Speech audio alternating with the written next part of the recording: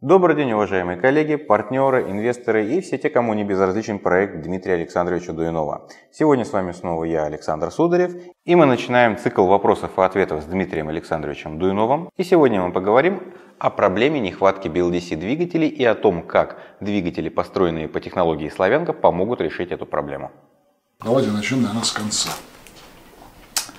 Вопрос номер шесть. Что в мире существует нехватка двигателей BLDC – из-за дефицита редкоземельных материалов, входящих в состав постоянных магнитов и как двигатели с технологией славянкой могут решить эту проблему.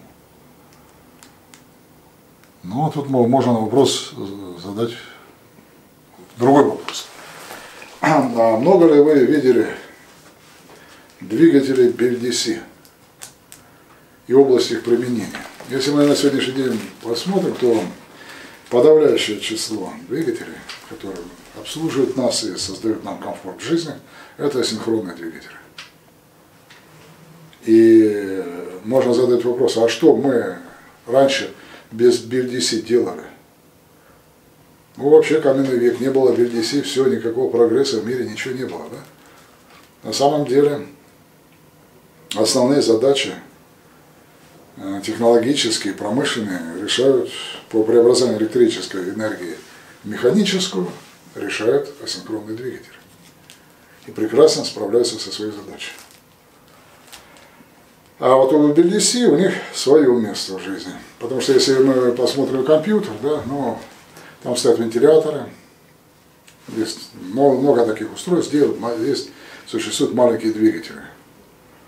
Но там нерационально применять асинхронный двигатель. Это вот удел двигателя BLDC. Точно так же сейчас BLDC двигатели занимают некоторую нишу в новых направлениях. Это электротранспорт, малые транспортные средства. Потому что если мы посмотрим, электротранспорт существовал и до BLDC. Ну, вот, допустим, такой пример. БелАЗа, крупнотоннажные колеса, двигатели BLDC. Ой, BLDC, извините. Ну, электромоторами вращаются, там BLDC не было, да, там коллекторные двигатели. Если мы посмотрим бульдозер D250, допустим, да, дизель электрический, это последовательный гибрид. С советских времен выпускается, великолепнейшая машина, прекрасно. Да? Если мы посмотрим автокраны, шасси МАЗ выпускались, они были гибридные, там двигатель ДВС вращает генератор, генератор вырабатывает электроэнергию, электроэнергия подается на моторы, поднимаются лебедки все остальное работает. Поэтому все эти схемы, они работают испокон веков. И не надо, не, нельзя говорить, что вот э, электротранспорт стал развиваться благодаря BLDC. Вот. BLDC в основном занимает ту нишу, которая сейчас новая, и занимают ее благодаря, скажем так, тому, что были выполнены разработки определенные с использованием. Почему? Потому что, вот, допустим, Китай, там, э, западные страны – они разрабатывали эти технологии, потому что все-таки идет конкурентная борьба. И нашли новую нишу, новое направление. Вот развивают. И если мы посмотрим, допустим, на сегодняшний день, Россия может выпускать конкурентоспособных людей? А нет, потому что источников сырья нет технологий. Да? Поэтому Россию на этот рынок не пускают. И как можно зайти? Да никак. Китай, Китай, еще раз Китай. Вот. Но в связи с тем, что Китай сформировал спрос на BLDC моторы, и он правит бал, они э, создали для себя некую проблему, потому что развив этот рынок, они столкнулись с проблемой нехватки сырья. Потому что те месторождения, которые были разведаны и разработаны, они уже не могут обеспечить наросший спрос. А для того, чтобы его удовлетворить, стоит вопрос о том, что нужно новые месторождения.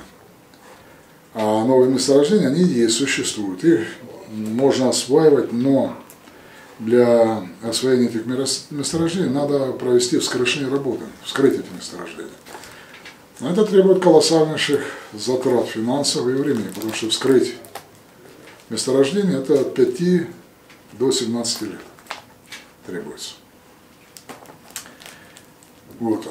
Это колоссальнейшее кап вложения. А потом что делать с этой промышленностью, когда вот все это работает, а куда ее переместить? Надо еще какие-то месторождения скрывать. И это срок, да. И кто будет в это инвестироваться? Надо понимать, что есть такая проблема. Но можно сказать, что можно более интенсивно разрабатывать известные месторождения. Там другая проблема. Вредные выбросы ограничивают скорость подвижения честного забоя и радиация. Два момента, которые сдерживают. Что губить людей, ну уже мы знаем, чем заканчивается э, вот интенсивная разработка, допустим, в угольной промышленности. Да? Если у тебя выработка не села, ты двигаешься быстро, потом у тебя бабак все это, да, села пустота это, и выбросы, аварии и так далее, и так далее. Поэтому а, с этим уже знакомы. Вот. Но и какой выход? Ну, китайцы сделали а, логичное действие, они стали повышать цену. И ценой регулируют спрос. Но, во всяком случае, они сейчас а, доминируют на этом рынке, и они диктуют свои правила. И вот в сложившейся ситуации у нас как раз появилась ниша возможностей. Потому что спрос нарастает, а спрос этот полностью не удовлетворен.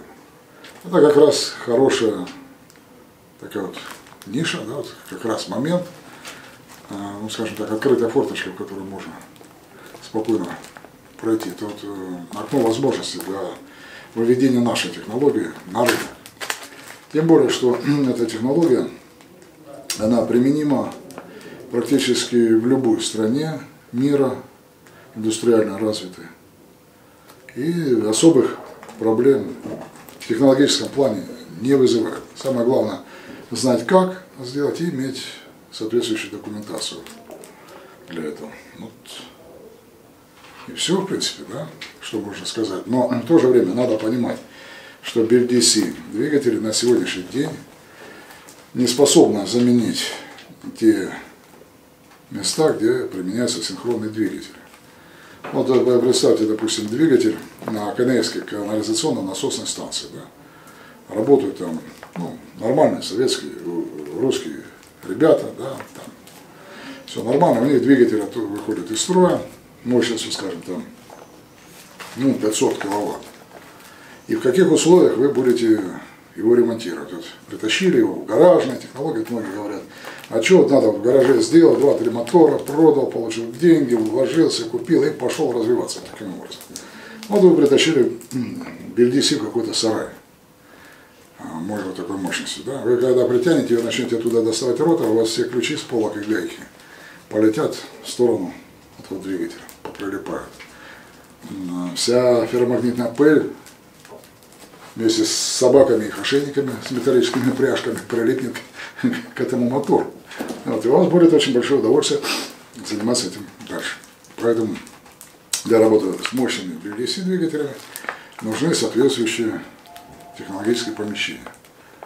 А если еще и другие там проблемы, инструменты нужно, не магнитные и так далее, и так далее, там куча приспособлений и так далее. Где это все есть? Вот вы представьте, современную, да, коммунальную сферу, коммунальное хозяйство, насос, который стоит там в доме каком-нибудь, да, там или еще что-то, и вот ремонт его. После этого можно будет говорить о перспективах применения. Поэтому все это далеко не так однозначно. И бравурные марши, а мы сейчас весь мир Бельдиси завалим, они так и останутся бравурными. Все останется на своих местах. Просто Бельдиси двигатели займут свою нишу, будут находиться в ней, а синхронные машины будут находиться в своей нише. Не зря европейцы вложили гигантские деньги в разработку асинхронных машин класса Е3 энергоэффективности. Они что же не дураки, да? Что то делали? Они не сидят, не ждут, когда им бельдеси на голову свалятся, да, там. А счастливит их Китай, либо еще кто-то, да? Зачем было тратить деньги? Ну, наверное, специалисты понимают, зачем. И вот это браворные марши многих товарищи, которые вот поверхностно знакомы с этой проблемой, но они, опять-таки, не более чем правный марш. Ну, где-то так. А на этом сегодняшнее видео подходит к концу. Спасибо за просмотр. Подписывайтесь на наш канал, вступайте в группу ВКонтакте и регистрируйтесь в личном кабинете официального сайта проекта «Асинхронные двигатели Дуинова» и оставайтесь в курсе всех последних событий проекта. Спасибо, до свидания.